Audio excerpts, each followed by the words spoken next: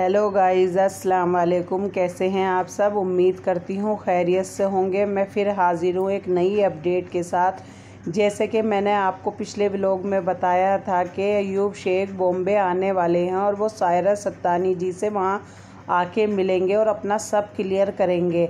But अब ऐसा कुछ नहीं हुआ। अब उल्टा सायरा सत्तानी जी गई हैं सूरत। और उन्होंने अपने ब्लॉग में मेंशन भी किया था कि मैं यूब से ख़ास मिलने नहीं जा रही हूँ, मैं अपने काम से जा रही हूँ, अगर वो मुझसे मिलते हैं तो ठीक है। पर उस पर क्या हुआ, वो ठहरी होटल में जाके तो अयूब शेख वहाँ गए। उन्होंने बताया कि मैं यहाँ इनके होटल के नीचे खड़ा हूँ और सारे बैंक के स्टेटमेंट भी लेके खड़ा हूँ। तो आप आ जाइए और मुझसे मिलिए। वो काफ़ी देर तक वहाँ खड़े रहे पर वो उनसे नहीं मिली। गाइज़ आप यहाँ गौर कीजिए, जब वो बॉम्बे गए तो वो सायरा सत्तानी जी से नहीं मिले। अब वो सूरत गई तो वो उनसे नहीं मिली। ये क्या चल रहा है? अगर आप सच में ही एक दूसरे के साथ रहना चाहते हैं तो एक दूसरे से क्यों नहीं मिल रहे? और नहीं रहना चाहते तो फिर भी आप एक दूसरे से नहीं मिल रहे। ये क्या माजरा है? ये पब्लिक जानना चाहती है, आखिर ये क्या है? और इस पर अयूब शेख ने नया खुलासा और किया कि वो जो पंद्रह लाख थे वो मुझसे सायरा सत्तानी ने लिए हैं और उसमें से दो लाख उन्होंने अपनी कोई फ्रेंड को दिए हैं। तो ये पंद्रह लाख का सच फिर वो पूरा क्लियर क्यों नहीं बता रहे पब्लिक को? उन्होंने क्यों छुपाया पंद्रह लाख का सच के? उन्होंने वाकई लिए हैं तो पूरी तरह बताइए आप कि उन्होंने लिए थे, कब लिए थे? इस पंद्रह लाख का भी मुद्दा ही ख़त्म हो जाए।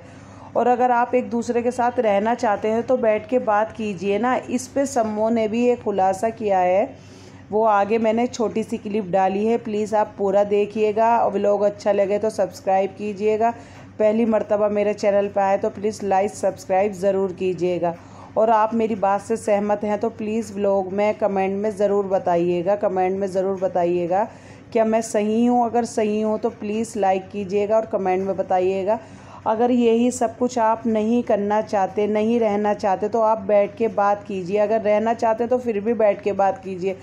पब्लिक को क्या आप पागल बना रहे हैं? ये पब्लिक सोच रही है। इस पर सम्मो ने भी अपना स्टेटमेंट दिया है कि जब आप सूरत हैं तो उनसे क्यों नहीं मिली? और जब वो बॉम्बे आए थे तो वो आपसे क्यों नहीं मिले? आप एक दूसरे के साथ रहना भी नहीं चाहते और पब्लिक को आप मैसेज भी दे रहे हैं। तो इससे पब्लिक क्या समझे कि आप रहना नहीं चाहते और रहना चाहते तो एक दूसरे से मिलना नहीं चाहते? इस पर पब्लिक के अलग अलग स्टेटमेंट है कि आप पब्लिक को घुमा रहे हैं। क्या ये बात सच है? आप ज़रूर अपनी कमेंट में राय बताइएगा और सम्मो की क्लिप मैंने डाली है दुआओं में याद रखिएगा। दोनों की मिली भगत है। दोनों ने मिलके इतना अच्छा नाटक और इतना अच्छा जो एक पिक्चर बनाते हैं ना तो इसका एक सबूत मेरे पास है। मैं तो ईद के बाद डालने वाली हूँ और तो और पहले से तो मैं ईद का धमाका करने वाली थी मगर ये तो और थोड़ा मसाला मिल गया। बस पूरे का पूरा आपको ईद के दिन ईद के दिन ही मैं आपको सबको डालूँगी फ़ोटोज़ वीडियोस ऑडियोस